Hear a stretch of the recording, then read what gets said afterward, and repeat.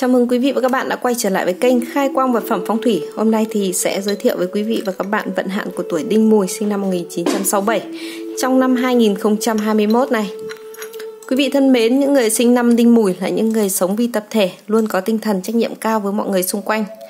Tuổi Mùi mệnh thủy có nhiều nguyên tắc sống, vì thế mà mọi người xung quanh thường hiểu lầm rằng họ là những người mà lạnh lùng, nghiêm khắc. Thật ra nếu tiếp xúc nhiều, bạn sẽ thấy những người này rất vui tính và hài hước Vừa kết thúc một năm dịch bệnh và đã bị thái tuế. Sang năm 2021 thì cứ ngỡ sẽ bước sang một trang mới nhưng mà điều này lại hoàn toàn sai đối với lại tuổi đinh mùi.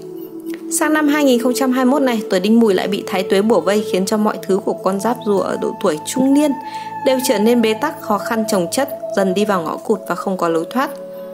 Vậy trong năm 2021 này, vận trình của tuổi đinh mùi sinh năm 1967 sẽ ra sao?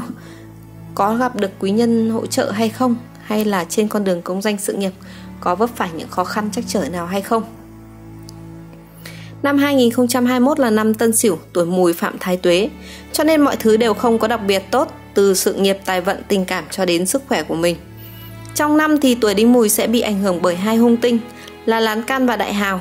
Đúng như tên gọi thì Lán Can tạo ra nhiều trở ngại và rắc rối, khiến cho con đường sự nghiệp của bạn gặp nhiều khó khăn, Đại hào có tác động đáng kể đến tài lộc của bạn khiến cho tiền tài hao hụt đội nón ra đi. Thái âm nên là bước sang năm 2021 nam giới sinh năm Đinh Mùi 1967 đã 54 tuổi rồi. Do ảnh hưởng của sao Thái âm nên tổng thể đường tài lộc tương đối là ảm đạm. Sự nghiệp năm nay thì không suôn sẻ nhưng những chuyện liên tiếp rắc rối xảy ra.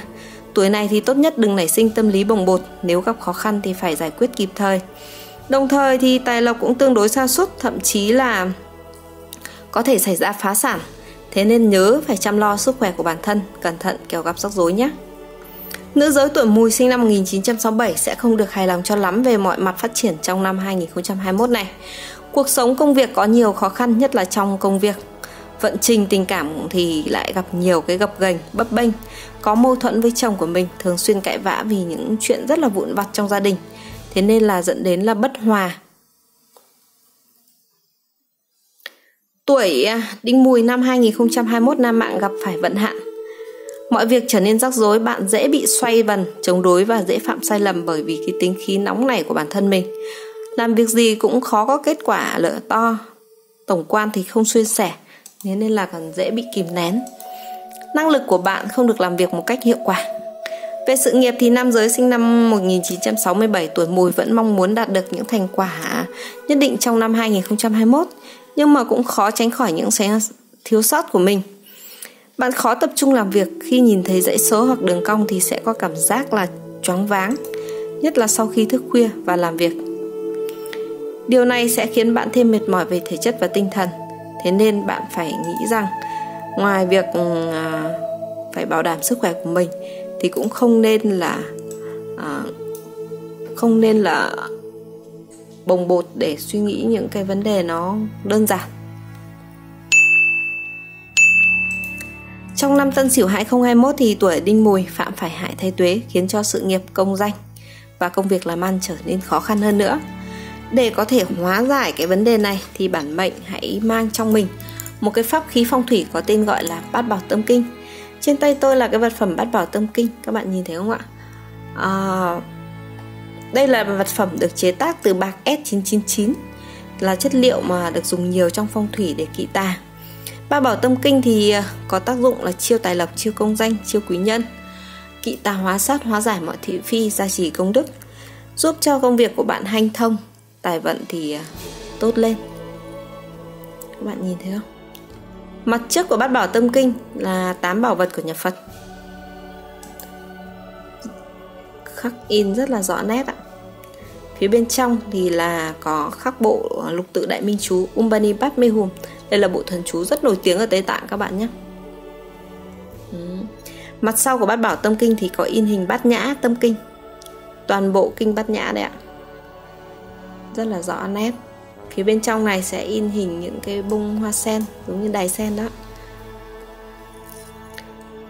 Trên cùng là một cái chốt, giống như là cái chốt chặn đó, của dây đó thì chốt này có hình giống như một bông sen đang nở rộ, tượng trưng cho cái sức mạnh uy quyền, sự ờ, kiên trì, bất khuất Bát bảo tâm kinh sẽ kết hợp cùng với cái dây dù màu nâu này sẽ giúp cho bạn nhìn thấy cái bộ bát bảo tâm kinh rất là đẹp. Dạ. Đây là bát bảo tâm kinh.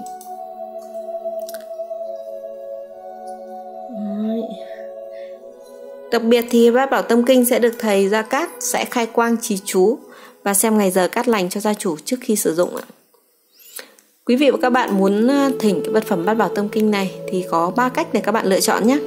Cách thứ nhất là truy cập vào website phong thủy may mắn.vn.